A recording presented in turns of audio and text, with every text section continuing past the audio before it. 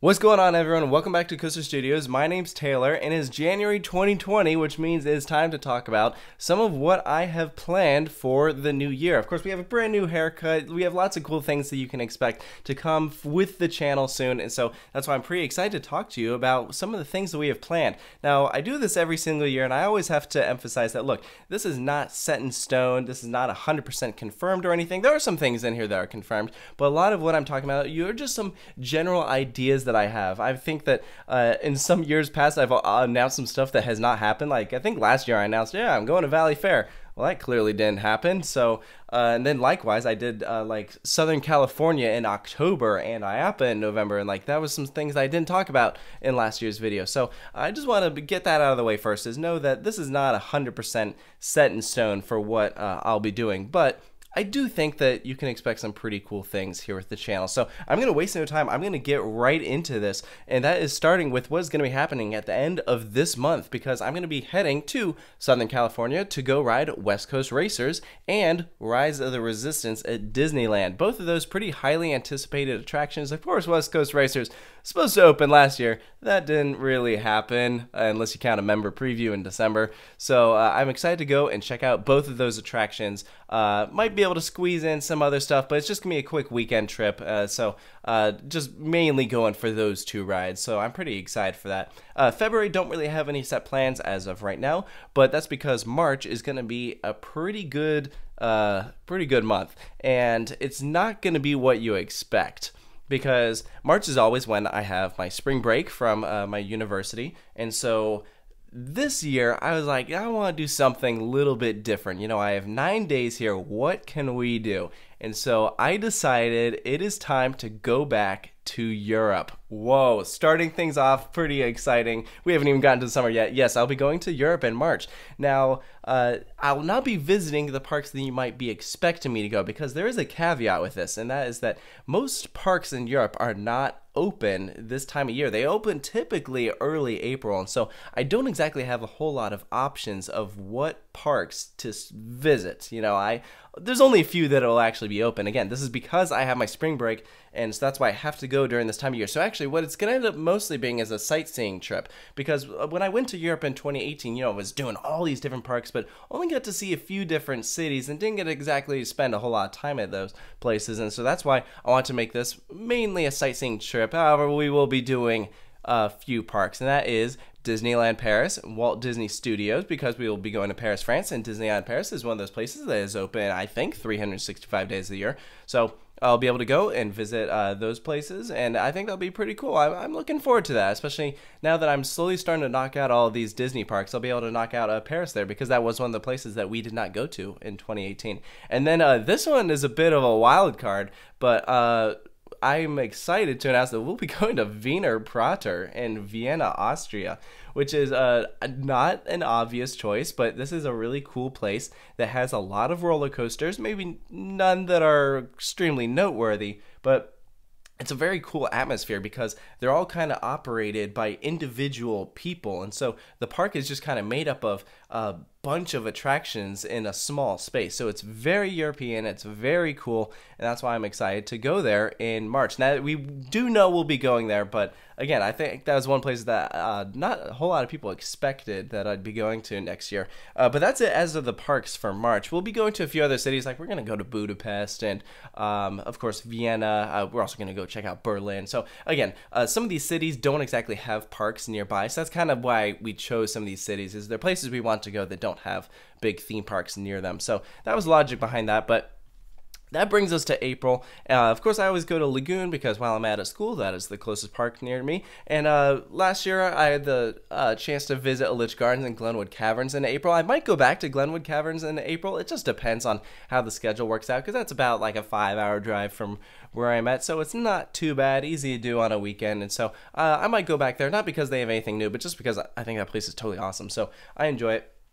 But that brings us to May, and there's a few places that are opening up new for 2020 roller coasters that I for sure want to go check out. One of them is, of course, Hersheypark with Candymonium and Chocolate Town, and so I'm assuming that they're shooting for a May opening there. Uh, so I'd love to go attend that. Um, We also have Six Flags Great Adventure for Jersey Devil and Kings Island for Orion. Now, Kings Island is probably going to open Orion in April. Uh, I won't really be able to go to that in April. At least I don't think so. I mean, I don't know. I guess anything's possible. But I'll probably hit that up in May, assuming Great Adventure opens Jersey Devil on time, like around Memorial Day. I'll probably be able to do Jersey Devil opening. And then one thing that I would like to do for sure next year is Texas. I haven't been back since 2016, and they have several new coasters that I haven't gotten the chance to do. And one of the reasons why I wanted to go next year is because of Texas Stingray, this big old GCI coaster.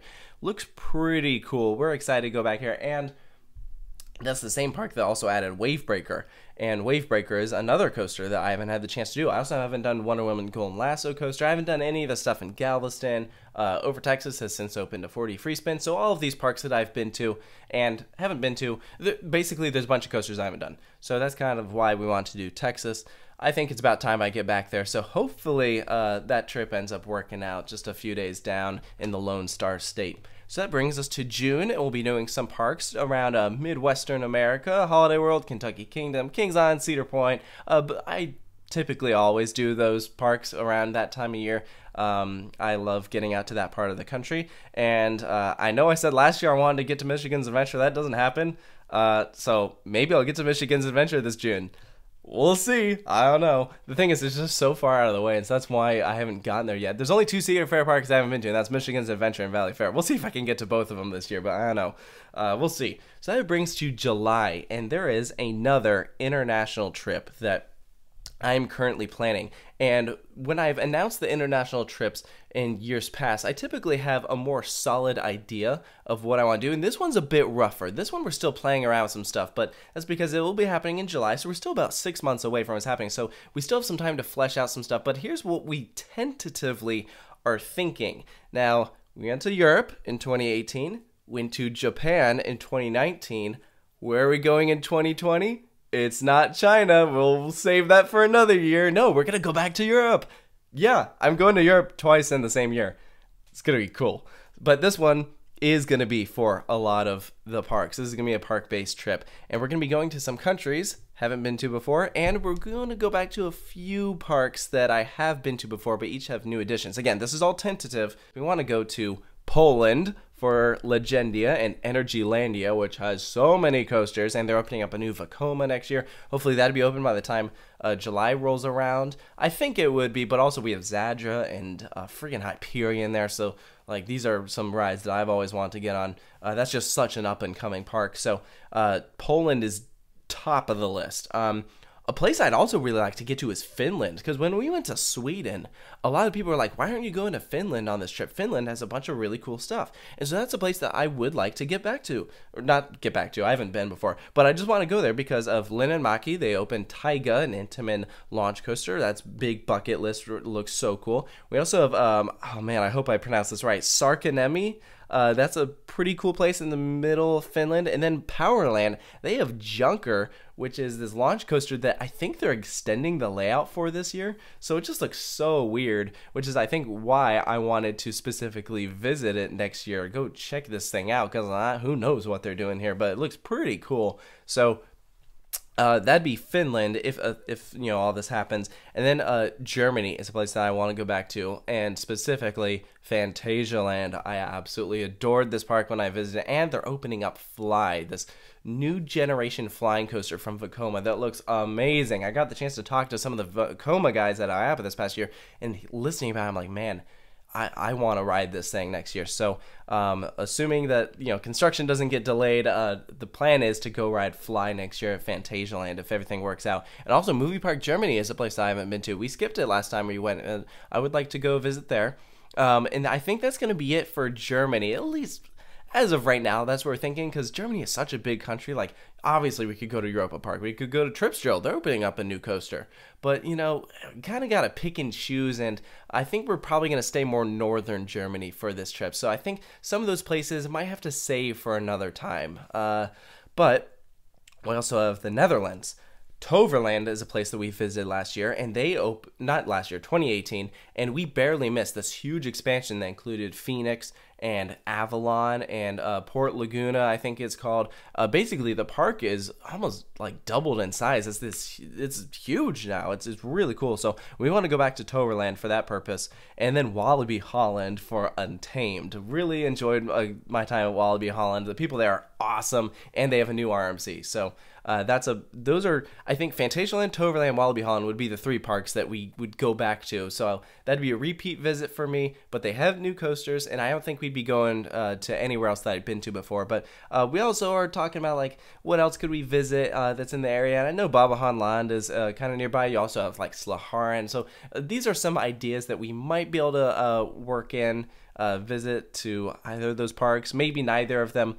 We'll wait and see. But uh, nothing is set in stone, but as of right now, that is what we're thinking for July. Uh, some sort of European trip to go to uh, those three, four, maybe five countries. We'll see. Um, I think it's gonna be exciting, and I can't wait. Uh, I, would love. To, I've been waiting to get back to some of these places, even though it's only been two years. But like Phantasialand, I was like, oh, I want to go back there so bad. I was not ready to leave when we visited, so uh, I'm really excited to see how that all plays out. So that brings us to August. I'm going to be going to Kennywood. I want to go get some more rides on Steel Curtain because I feel like I kind of got cheated out there. I only got one ride. So I want to see uh, maybe if it was better than I, I was originally saying it was. I've only been to Knoebels once. I'd like to get back there. Uh, American Dream is a place that I just recently visited, but missed out on two coasters there, and the water park wasn't open. And like, so I'd like to go back there once the mall as a whole is open. So I am gonna wait for everything to open up there before I go and visit again. Uh, so for that reason, I might wait and even push that back till maybe like December of of this coming year. So don't know, but I would like to go back there. Also, uh, probably go back to like Cedar Point, Dollywood, and um, places like these, Carowinds. So um, that'll be visiting uh, those parks with some people who have never been before. So that's why I think we're going to be going to a lot of those parks in a larger, like maybe two week trip. Um, again, we're still working out the details with that one, but um, that's pretty much it for as of what I have uh, tentatively planned. Valleyfair and Mall of America, you know maybe I'll go and do that uh, in the fall. It'll just make it a weekend trip. I said I'd do that last year. That didn't happen, but uh, maybe I will this year. We'll see. Uh, I don't really have any set plans for October or December as of yet, but stuff will happen. So I think as of right now, that is what I have planned for 2020. I hope that you find it pretty exciting. I can't wait to bring all these videos to you guys and uh, check out some of these cool places, bring some content from some parks that maybe aren't getting as much coverage, or if they are getting a lot of coverage, hope they'll be able to bring you something a little bit different than what some of the other guys are doing, which is why I'm always excited to visit some of these parks next year. Go check out the new rides and everything. It's going to be awesome. So, hope you enjoyed this video. Leave a comment down below what you think of all of this. And of course, I will keep you guys posted on uh, some of these plans and, and what ends up happening. But uh, thank you guys for watching. I'll see you in the next time.